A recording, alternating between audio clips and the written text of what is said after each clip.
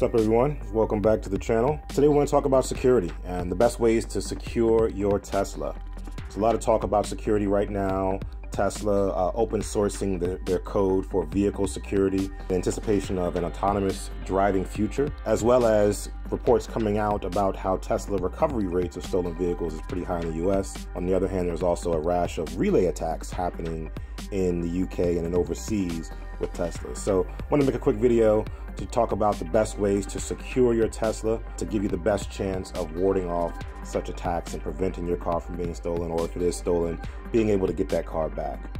But before we get into that, if you or anyone you know is looking to buy a Model S, a Model X, or Performance Model 3, make sure you use that referral code or pass that referral code on to your friends or your family so they can get free unlimited supercharging for the life of their vehicle. Anyone using our link will be entered into a drawing to raffle off some cool prizes at the end of September as a token of our appreciation for using our link. Okay, so security. If you've just bought a Tesla, you may not be familiar. And if you had had a Tesla for a while, you may also not be familiar with the different ways to secure your Tesla. But today we're going to talk about the best ways to secure your Tesla. The first thing you can do, obviously, is activate your car alarm. Car alarm is a feature that's included in all the Teslas. Activating the alarm will allow the, the car to make a sound should it be breached through the window, the door, through enough motion of the car itself, in terms of someone bumping it or hitting it. It'll at least alert everyone around you or around the car that there's some activity going on and give you some peace of mind to know that at least some kind of warning will, will take place before your car is, is taken. However, it doesn't prevent someone from taking it if they have the key or if they have the signal of your key uh, in, in their hand. But again, one more layer of security that you can add. The next thing you can do is enable or disable passive entry or passive exit features of your car. These are convenience features that allow your car to automatically open and present itself when you walk up to it with your key or with your phone. For Model S, the door handles will present themselves. For Model X, the door will automatically open if you've upgraded to that feature and if that feature is active.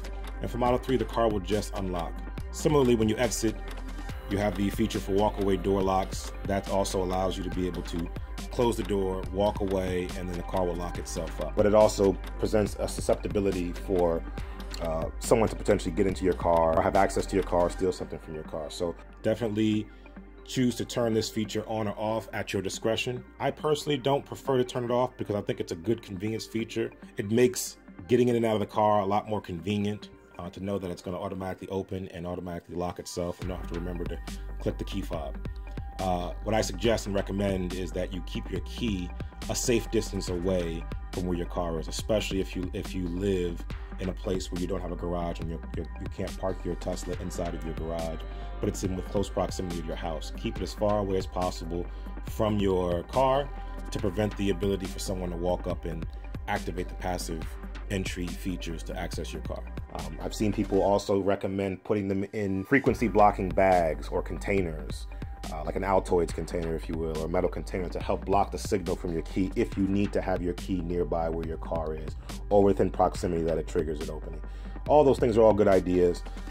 The next thing you can do is make sure that you have mobile access turned on. Mobile access gives you ability to track your car and it allows you to be able to see it in the app and also control certain functions of the car through the app. Having mobile access on ensures that if someone wants to steal your car, you're able to find it or the police are able to find it using the application and see where the car is. This is how majority of the cars that have been recovered in the US have been recovered is using the app. Definitely turn mobile access on. If for whatever reason they're able to get in, up until this point, they can always override the settings. They can go in, in, in, the car if they have your signal, if they have your key itself.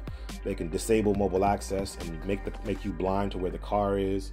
Um, they can do all kinds of things once they have access to the car and they have either your key or a signal from your key.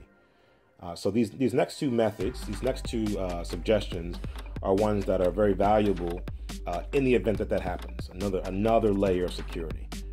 This next method is a relatively new feature, but it's a very valuable feature that Tesla just released, and that is the speed limit mode. Speed limit mode allows you in the car or remotely to limit the top speed of the car uh, and it ranges anywhere from 50 miles an hour on the low end to 90 miles an hour at the upper end. This mode was previously only available to the Tesla Gallery, the showrooms, as they would have loaner cars or test drive cars that they would limit the speed. This feature is now made available to all the owners to be able to lock down the speed of the car.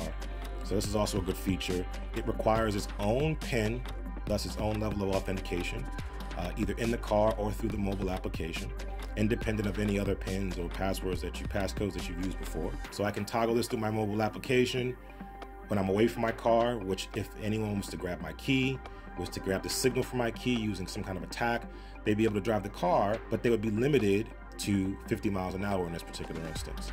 And the only way they would be able to change that, even if they have my key, is to be able to punch in the code, which only I or my family members or whomever has access to. So another layer of security that you can use. You can toggle it on and on as needed as you feel comfortable, whether it's overnight parking or whether you're parking in a place that you are uncomfortable with or have never been in. Last but not least is probably my favorite, and that is the valet mode. Tesla has a valet mode uh, used primarily to prevent valets from joyriding and accessing parts of your vehicle, and it too has its own independent PIN code as a layer of security. You deactivate it with this. You can activate it just by selecting the profile. And once you activate it, the valet mode, it locks the output of power. So if you have a performance version of the of Teslas, uh, you don't want to have someone accessing so much power. It limits the power and it also limits the top speed to 75 miles an hour. It locks the glove box and gives them no access to the glove box, and it gives them no access to your navigation history including where you live in terms of home and work, etc. You can actually pair the valet mode with the speed limit mode. So you can say, hey, I want my valet mode on. I want to give no access to the touch screen in terms of certain functions and features. I want to give no access to the glove box.